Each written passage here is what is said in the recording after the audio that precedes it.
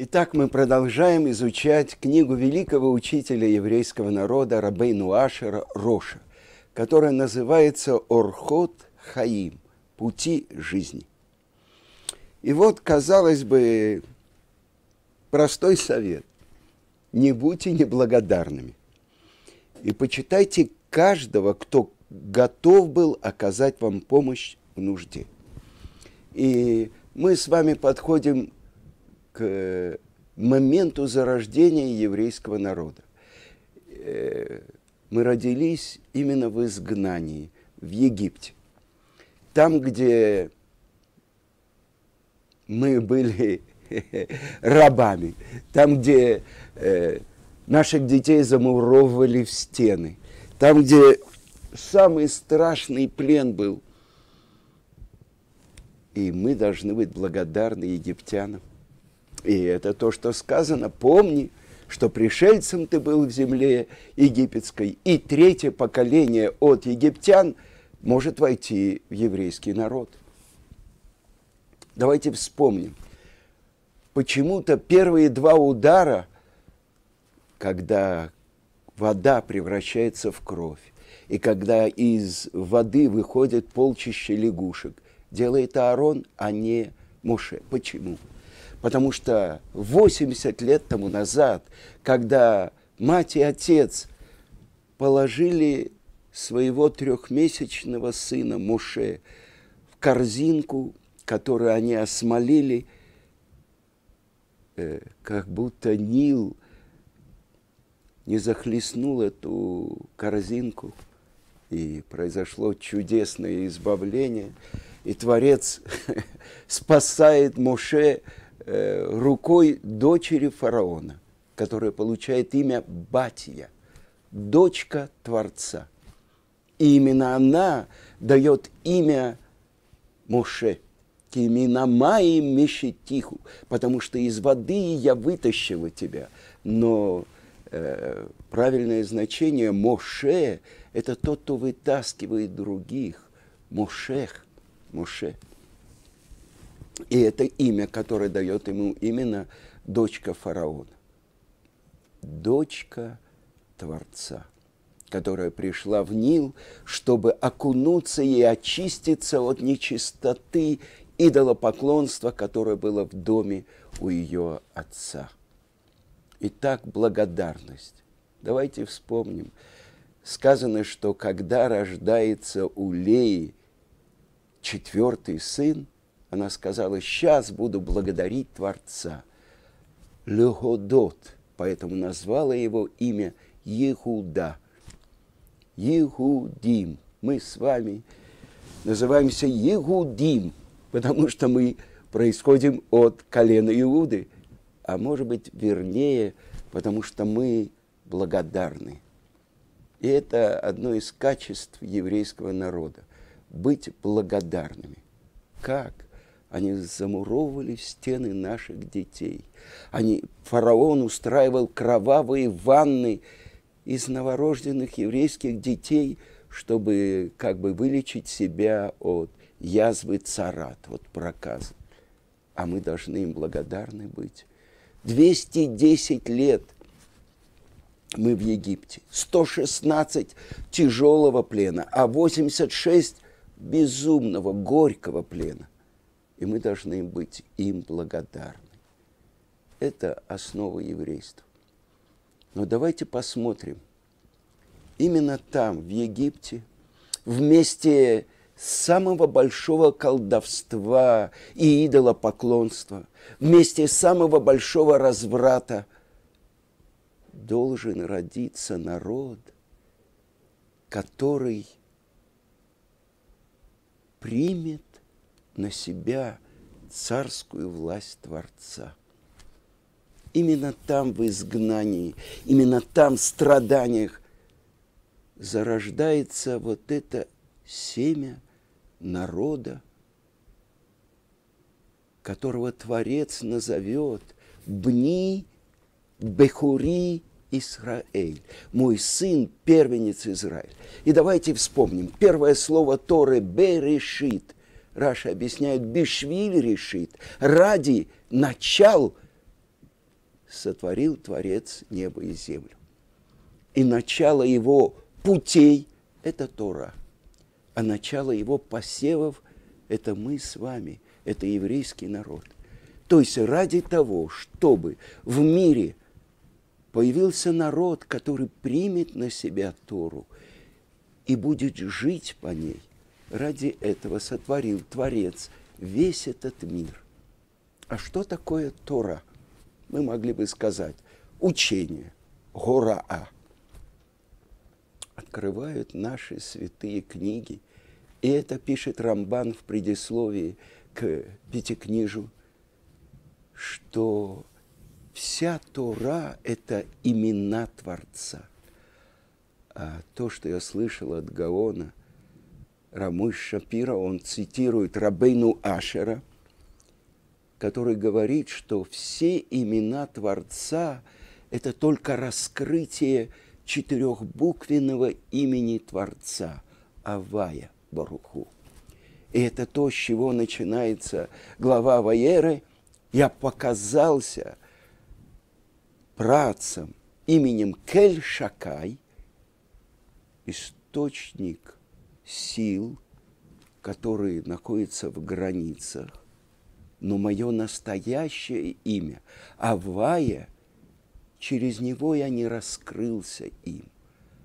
А теперь именно через десять казней, ударов, которые обрушиваются на Египет, раскрывается это особенное имя Авая.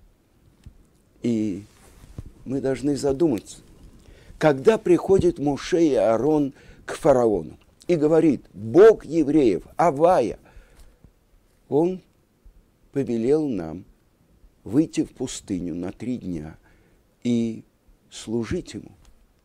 Что отвечает фараон? Кто такой Авая? Бог, я не знаю, и евреев не отпущу. А какое же имя Творца он знает?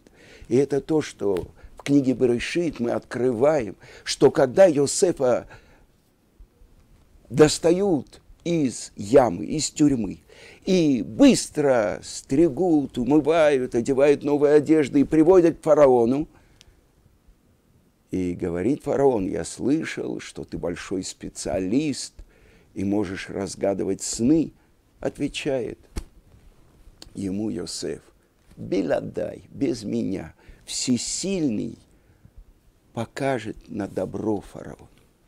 И потом, когда разгадывает он сны и предсказывает, что будут семь лет сытости, а после них семь лет голода, и что нужно найти человека, который во время лет сытости соберет все зерно, и это будет пропитанием семь лет голода, говорит фараон – найдем ли мы такого человека, Шеруах Элукимбо, у которого дух всесильного, как он.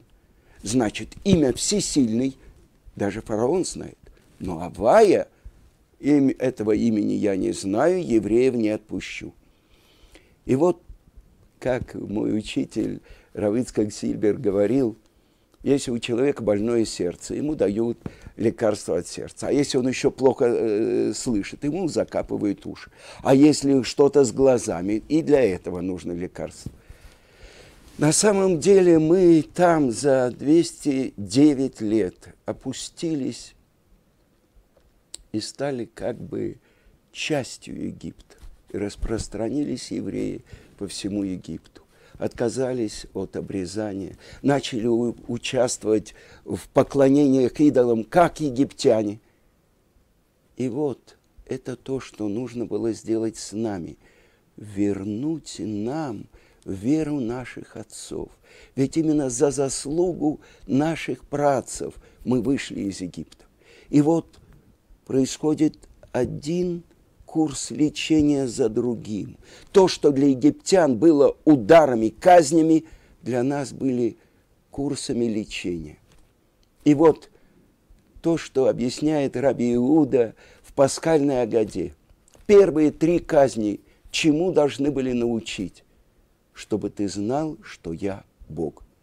Потому что, что говорили египтяне? кто сказал вообще, что есть Творец? А если он даже есть, разве он вмешивается в какие-то дела этого мира? А даже если он вмешивается, он не изменяет законов природы. А если изменяются законы природы, и больше того, он заранее открывает своим близким то, что должно произойти, это изменение природы, это свидетельство о том, что есть Творец, то, что Он персонально вмешивается и управляет всем тем, что происходит в мире, а последние четыре удара, чтобы ты знал, что нет подобного мне вообще. Эн камони, И это то, что постепенно мы оставляем веру египтян, оставляем поклонение этим идолам и приходим к открытию того, кто скрыт в мире.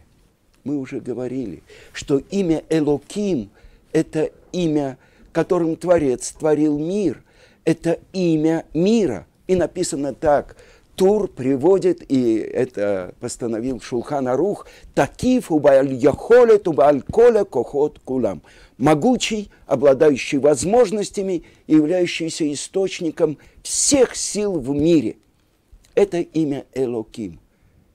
Но давайте вспомним, по подобию на всесильного, Бецелем Элоким, Бара, Отам, сотворил Творец человека что в нас находятся все силы, которые есть в мире. Больше того, человек является ключом, чтобы раскрывалось присутствие Творца в мире или закрывалось еще больше. Это то, что называется открытие лица или скрытие лица Творца. Так вот, Элоким, как мы уже говорили, это то, что природа, Тева. А Тева и имя Элоким – это 86, то же самое имя. Но что же происходит в Египте? Когда открывается имя Авая, тот, кто является господином всего, тот, кто был, есть и будет. То есть тот, кто скрыт именем Элоким, но тот, кто постоянно, каждое мгновение творит мир, как вспышки света. Если мы посмотрим на огонь свечи, казалось бы, он постоянный, но каждое мгновение сгорает капелька масла и новая вспышка огня – существует благодаря этому горению. А мы видим просто огонек свечи. И также весь наш мир. А что же означают все имена? Как мы сказали, что вся Тора – это имена Творца, но они раскрывают только это имя Авая. С другой стороны сказано, и так говорит Шло Акадош, что означает аббревиатура имени Израиль. Ешишим рибо отиот бетора. Есть 600 тысяч букв в Торе. Израиль. Это значит, каждый из нас несет в себе корень, заключенный в Торе буквы или коронки над буквой – из нашей святой Торы. Это то, что сказано, что каждый еврей есть у него особенное место в Торе. Это то, что открывает святая книга Зор, что Творец смотрел в Тору и творил мир. И тогда нет ничего в мире, у чего не было бы корня в святой Торе. А для чего Творец сотворил мир? И это очень важная вещь. Если он смотрел в Тору и творил мир, написано в Зоре, в главе Пинкас, это э, часть э, Зора, которая называется «Верный пастух», «Реа Немна». Верный пастух – это Моше Рабейн. И там сказано, что Творец сотворил мир ради раскрытия своих имен. А в другом месте сказано, по моим именам я, по моим действиям я раскрываюсь. А что же хотел раскрыть, кому хотел раскрыть Творец свои имена? Мне для самого себя не нужно имя. А когда я обращаюсь к другому, я говорю, меня зовут Цви Патлас. Как Творец обращается к еврейскому народу, первая заповедь, которая звучит, которую мы слышим с горы Синай, Анухи, Ашем Элокейха – Ашер тихо мерец Мицраим Мибейт Авадим. Я, Бог Авая, всесильный, который вывел тебя из земли египетской, из дома рабства. Анухи, наши мудрецы говорят, Ана навши, катавкив и гавкив. Говорит Творец, я как будто свою душу записал и дал тебе в Таре. Почему Творец не открывается как тот, кто сотворил небо и землю. Это спрашивает царь Хазар у еврейского мудреца в книге Кузари, который написал Раби Иуда Оливи. И он отвечает, для нас Творец Авая раскрылся, когда великими чудесами и знамениями Творец вывел нас из Египта когда он, как ветеринар, достал нас, как теленка достают из внутренностей коровы, которая затрудняется при родах. Мы были проглочены, мы родились там. И вот каждый удар – это раскрытие десяти речений, которыми Творец сотворил мир. Десять казней, десять речей. Открывает мораль из Праги, и это я слышал от своего учителя Гаона, Равмойши Шапира, что каждое речение, оно тем, как Творец сотворил мир, десятью речениями сотворил Творец небо и землю. И задает вопрос в Талмуде Раби Йоханан, но ведь только девять раз сказано «Вайомер», «Вайомер Элоким и Иор». Э, и сказал Всесильный, что встал свет. Это первое «Вайомер». А что же такое Берешит? И отвечает Талмуд. Берешит нами Маамар. И это называется речением. Что же было сотворено первым речением? Берешит – это порядок. Гаон открывает, это было сотворено само время. А время и пространство, и место, они связаны одно с другим. Этим речением было сотворено то, что человек даже представить себе не может. Ведь для него время – это поток. Оказывается, есть начало времени, начало порядка, в котором существует наш материальный мир, в котором существуют все духовные миры, которые над нашим миром. Это десять речений. Но почему именно благодаря казням египетским, ударом по Египту нужно было освободить речение Творца? Сказано так, что Творец сотворил мир десятью речениями. Но мог сотворить и одним речением.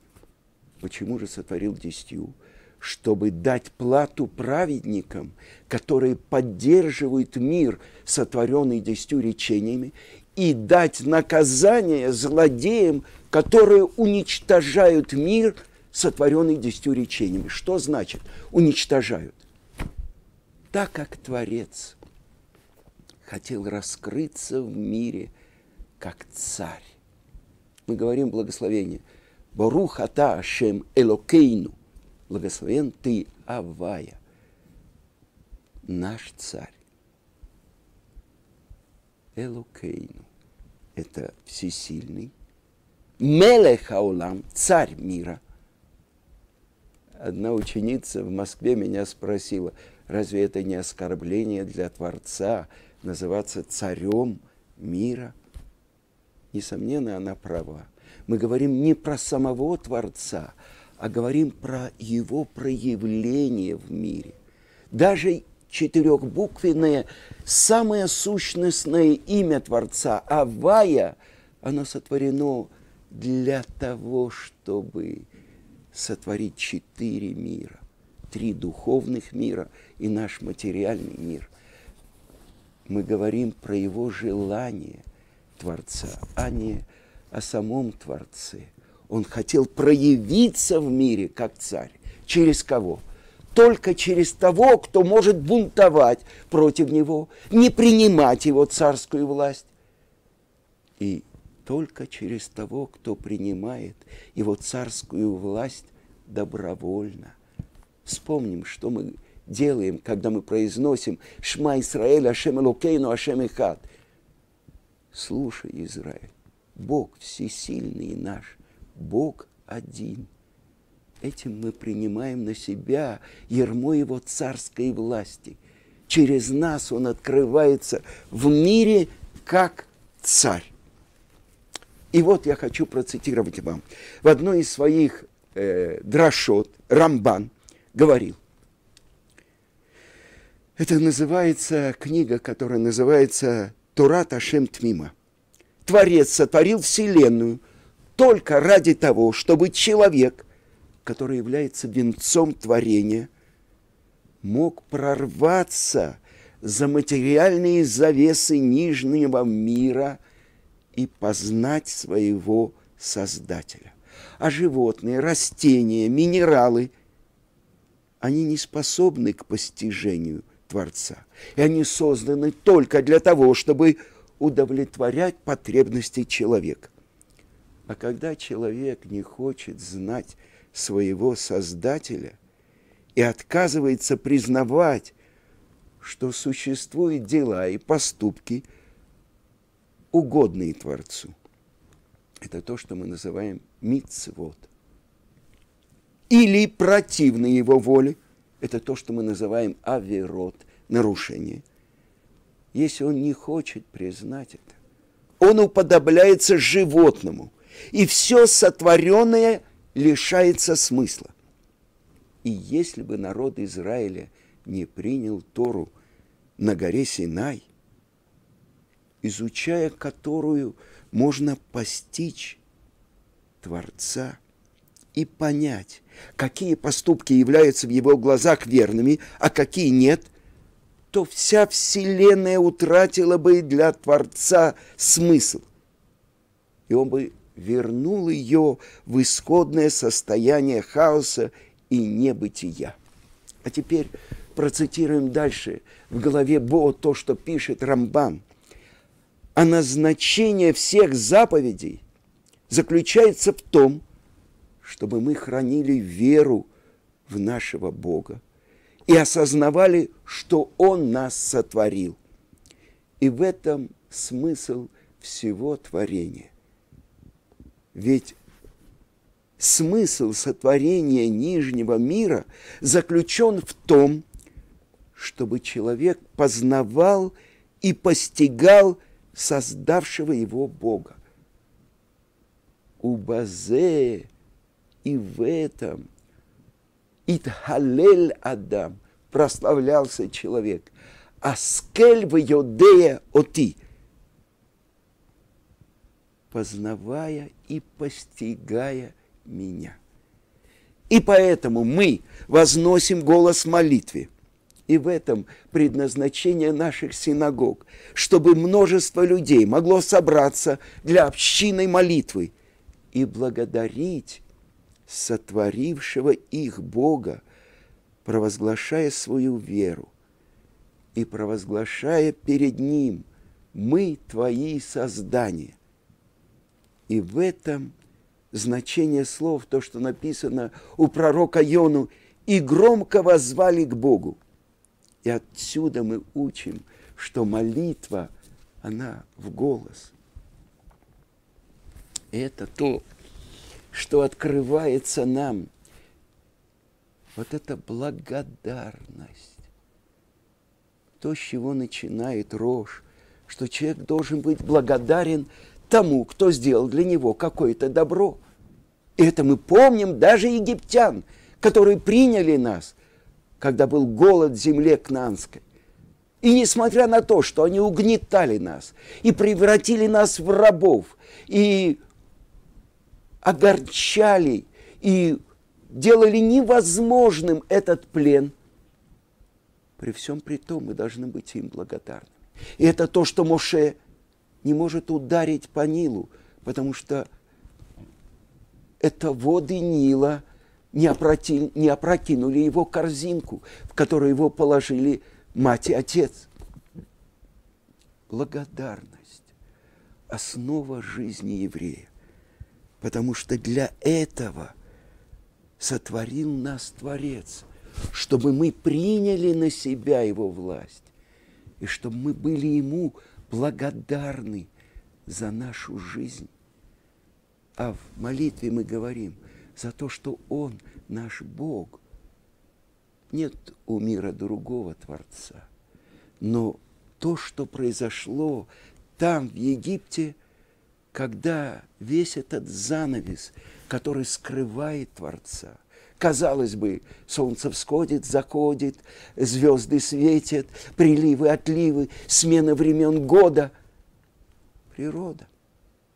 А за этим скрыт тот, кто является источником всей жизни, тот, кто послал нас в этот мир для того, чтобы мы связались с корнем нашей души и открыли наше место в Торе, наши буквы в этой святой книге, коронки букв связались с тем, кто нас послал в этот мир, раскрыли занавес и постигли Эйн от Миливадо.